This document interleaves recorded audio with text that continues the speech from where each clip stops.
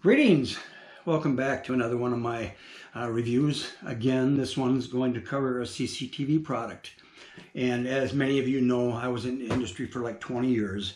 Uh, so sometimes I like to show you what I had to install way back then. Um, when I had to install a pan tilt zoom camera and a recorder, we, we, we had things like this.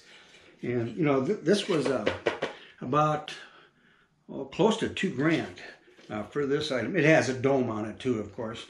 And uh, for recording purposes, uh, we had to figure out what we were going to do for a recorder. And uh, in this case, I've got a, uh, um, a DVR. And this professional quality DVR, about six, seven hundred dollars back then. And if you wanted a light source to light up the area, needed to add a light source. But the thing is, nowadays, um, consumers, you know, they haven't made really because of everything I paid multiple grand, you know, two or three grand for back then, just for one camera and its recording and everything. Um, consumers can get things like this for under a hundred bucks. Go beat that, huh? And believe it or not, this has more features than all of that combined equipment I just showed you. And we'll get into that here in a little bit. So let's let's go into the unboxing of the product and uh, we can review it further after that. All right, today we are talking about the Sovmiku Pan Tilt Zoom two lens camera. And this has got some pretty neat features in it. And we'll go over all those features once we get it set up and running and tested and things like that. But for right now, we're just going to unbox this and uh, see what comes in it. Uh, this is my first glance into this also. So um, right off the bat, we get a network cable, uh, just a short one. But I assume for people that want to set this up right next to your computer or router, uh, that would work great. And uh, power plug, remember this is not a uh, battery operated device. This needs to be plugged into your wall outlet at home or in the office. And it's, it's well packaged. Let's move the box out of the way. All right. Um, right off the bat, you know, you've got your pan and tilt, and here's your two lenses. You've got illuminators here for IR and white light. So you'll get, uh, once the white light comes on at night, you get a color image uh, rather than the uh, normal black and white that you get with an IR um, light source. And on the end here, you've got uh, a cable for your network connection.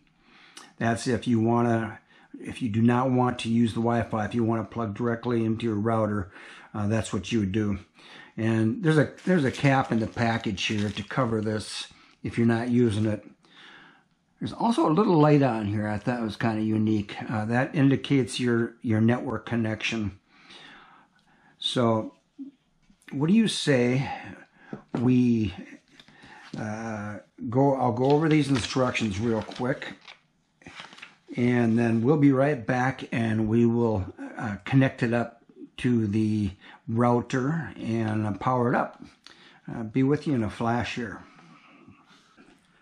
All right, before we go powering this up, we want to place the SD card in the device. So we take the weather boot off and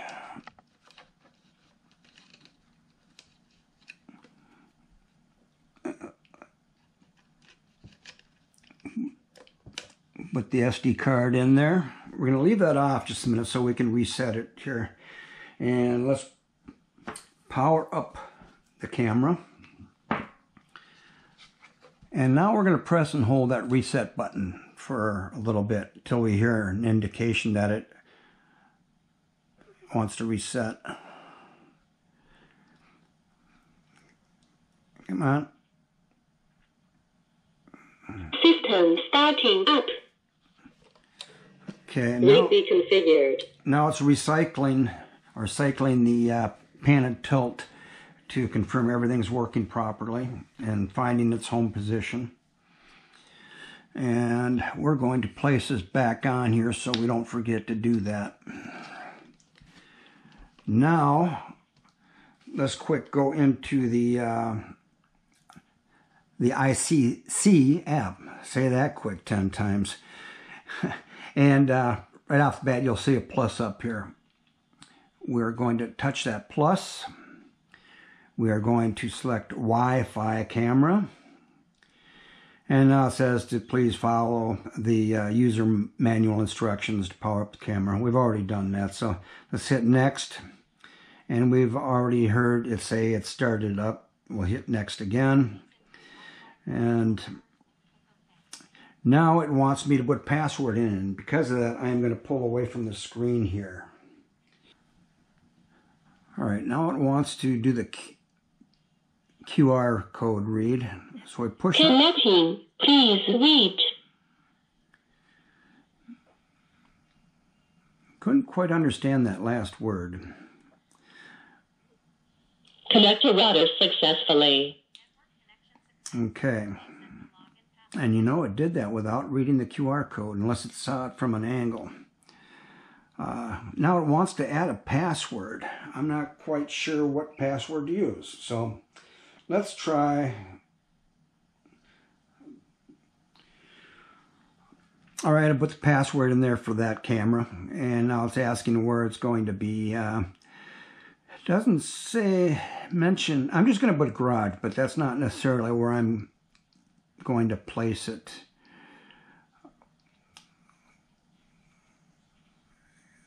And robot one, okay. Uh, we, we should be able to go in later and change the name and everything, but for now, we're just going to hit garage and hit save. Local storage, I've got uh, local storage and we are going to be on continuous record. So, and that's a big plus and I'll explain why that's the case too. And we've got a memory card installed. Next step, alarm push switch, yep. And again, we're probably going to be repeating this once everything gets going. So it appears that we are now set up. So I am going to go ahead and go install the device outside. I'll do some testing and we'll come back and uh, we'll look at all the results. We'll be back. All right, let's get this baby hung now. As you can see, I've already got uh, two of the bottom screws in and they'll slide in the slots here and let me uh, put the top one in. So let's slide that in. I'm mounting it on my regular test stand here. I use this test stand before I do anything else. I want to make sure it works before I go drilling anything into stucco. So now let's put the uh, top screw in to secure it. There, that secures it now. And really all we've got left to do is uh, plug power in. Since we're not using the LAN connection, I did put a cap on that. That comes with it. And whenever you plug in uh, the power to this, you should put some tape around this too to um, kind of give it some waterproofing but we are pretty set. This should be powering up here in just a second and uh, spinning around and talking to us. Uh, let's see if it does that. System starting up. See, system starting up. Connect to router successfully. Uh, connected to the router now. It's cycling uh, to make sure the uh, pan and tilt works okay. there it goes. So let's go inside and uh, after I do some testing over the next day or so, I will be back with the results and some additional programming. But to you, it's going to be just like that through the magic of editing. See you in a bit. Welcome back. Okay, um, I just spent the last few days uh, doing some testing, and I must say, um, this is one of my more enjoyable testing routines that I've gone through. Uh, this camera can do some amazing things, and I'll go over them with you in a little bit here. But before I do, I just want to give you some um, highlights of the camera. It's a Sovmiku pan tilt zoom two lens camera. Uh, it's got 355 degree pan, 90 degree tilt, auto tracking PTZ, and eight times optical zoom. You get that optical, not digital. That's very important. Um, it has a floodlight and siren when you want it to have. Um, it's got two-way audio. It'll hold up to 128 gig micro SD card, uh, which is not included. You have to provide that yourself. or you can get the optional cloud storage if you want to pay a little bit for it. Some of those cloud storage uh, packages can be pretty nice.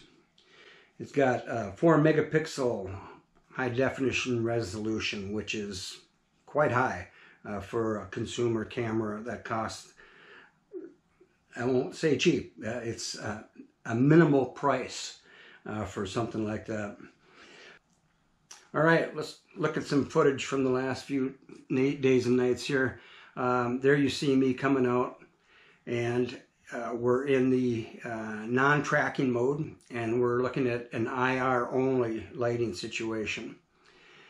And um, I, I kind of prefer that to be honest with you. Now the next one should be basically in the stationary mode again, but the white light will, will turn on uh, shortly and you'll see it turn to color. Okay, there I'm out, walking out there in the distance and I'm moving closer there. The white light came on and the image went to full color. Uh, th that is fascinating enough. I mean, more and more cameras are being able to do that. Uh, but just wait a couple minutes. You're going to see some really neat stuff. Okay, now we're in daytime. Again, we are not doing any tracking at this point. Here I come from the mailbox.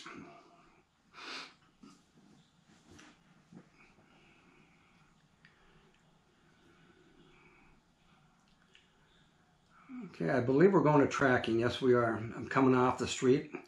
Look how it not only pans and tilts, but it also zooms in. That's incredible. I mean, when I was in the industry, industry back in the 90s and 2000s, um, we didn't have that. Not unless you were willing to pay two or three thousand dollars for a PTZ camera. Now you're getting it for under a hundred bucks. Um, consumer cameras have really moved along here in the last uh, five to ten years. Here I'm, I'm intentionally trying to zigzag and the camera is still following me. Look at that. And you're going to see some instances here where when it's done tracking, after so many seconds, it's going to go back to the home position. There it went. Um, you'll see a couple more examples of that in just a bit. Here I am again, walking around with my Gilligan cap on.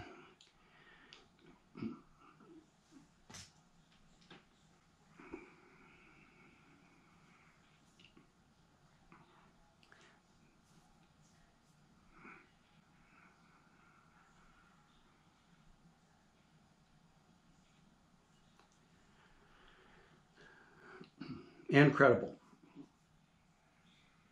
Boy, I wish I had that when I was in the business in a consumer grade camera because uh, commercial grade cameras that could do that, like I say, were out of reach for most buyers. And you're going to see it go to the home position here. After, I believe I have it set at 15 seconds. There it goes. Goes back to its home position. And there I am again.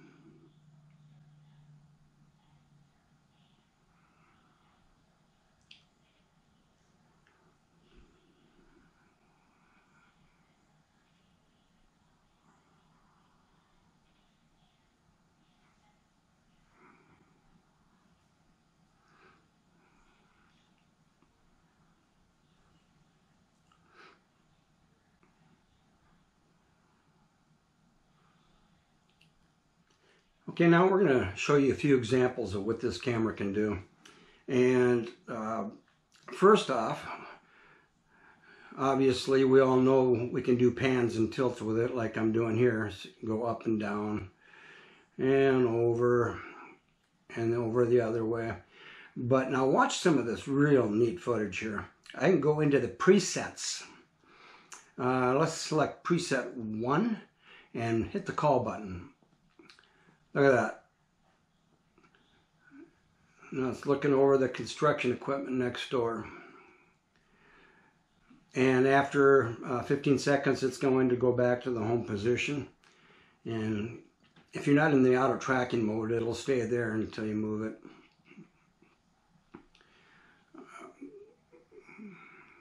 Okay, let's try two. Hit call.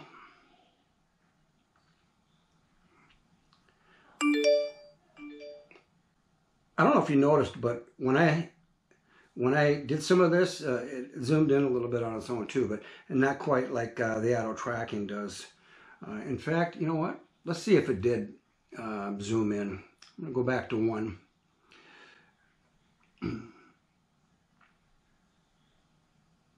yeah, it, it, did zoom in too. Uh, let's try three.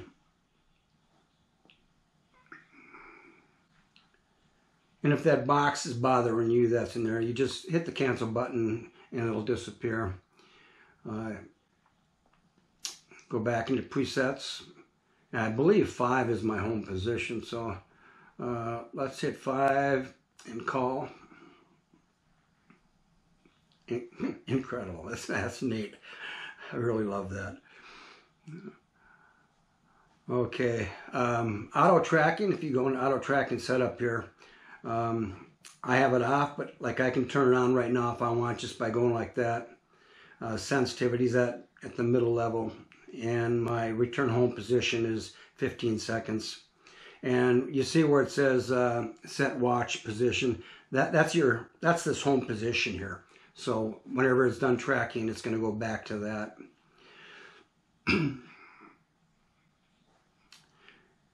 okay, let's go into some settings here now and check them out. See what kind of different things you can do with that. Uh, down in the lower right corner of that image you see, you'll see a button for settings. Just tap on that. Um, basic settings, there's not a whole lot here. You can um, change your uh, camera name. Right now I have it a driveway. You, you can pretty much change that to whatever you want. Uh, it's got speaker volume. Remember, it has uh, two-way audio. Uh, so you can adjust your speaker outside for that. Um, and back up here a bit. Um, local storage, that'll tell you uh, what you have in the SD slot. Uh, right now I've just got a 32 gig. Uh, I do plan on changing that to a 128 though since I'm recording 24-7. And it tells you how, how much of the card is full. And I have overwritten check. Uh, down below there where it says overwrite, I have that checked. And what that means is when the card gets full, it's going to start erasing the older images on there, the older video, and replacing it with new. It's basically just going to be a big loop. Uh, back up here. uh, smart alarm. Okay. Uh, right now we have it set to go into the alarm position and um, we have human detection turned on. And that gives us some extra settings. Um, just so you know, you cannot have human detection on at the same time you're using auto tracking. If you turn one on, the other one is going to be disabled and so on and so forth. Um, action, when it sees an, when it gets an alert, it's asking you what you want it to send to your phone. I basically have it a snapshot and then record um, the event. Uh, you can have the alarm out there flashing a light. It's got some neat flashing effects if you want, and also a video. Uh, right now, if you have a voice alarm, it'll be just um, a bell type alarm. But I, the way it looks here, you could probably put your own message on there. And I can imagine some of you would come up with some pretty racy comments. if you wanted to do that. Uh, I have it off myself. Okay, um, do not disturb. That means that during the night, if an alarm goes off, it's not going to be sending you a bunch of alerts on the phone. And advanced settings. Uh, this word gets kind of neat here. You can uh, go into where it'll show traces. If you do this, uh, when a person walks through the image, it's going to show you a little a track of where they came from. Um, I have that off. Sometimes it gets kind of annoying. Um, rule setting. You can do some neat stuff with that. I have uh, basically the it mapped out here. If you go into that, see how you can change um, these settings here. Basically, um, what that is is uh, up here in the street where we don't have that marked. If somebody's walking along there, it's not going to send an alarm or alert to you. But when they move into the driveway area, it's going to be looking for what they consider human activity. And if it sees that, it's going to send you an alert and uh, mark the recording. And as you can see below there, you can do different um, angles with this. Like you can just, you can do a triangle. Um, I, I, like the uh, Pentagon because you can do a whole lot with that. You see how I'm doing this here? Uh, go like that. So uh, basically I'm not getting the roadway. And you hit done.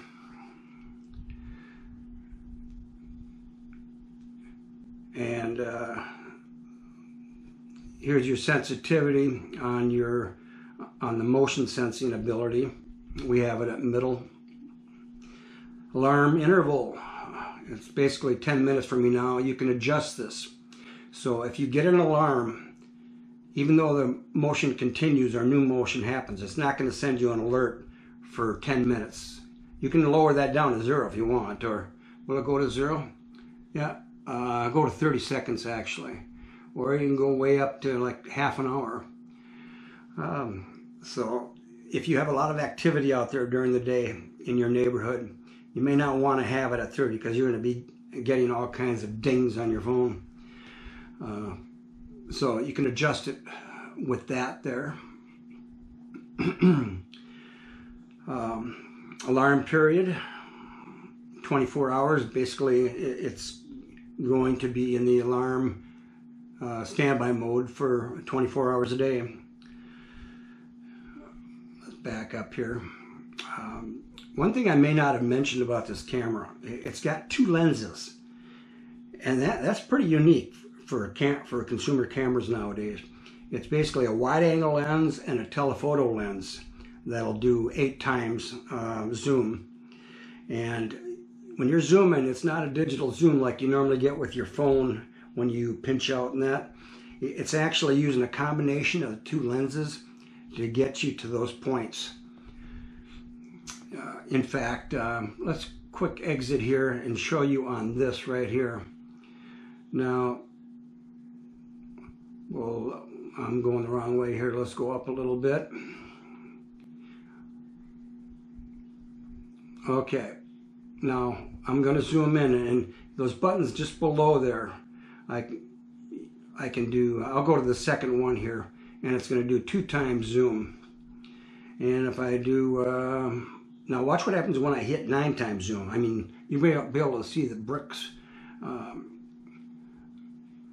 Look at that. that's incredible.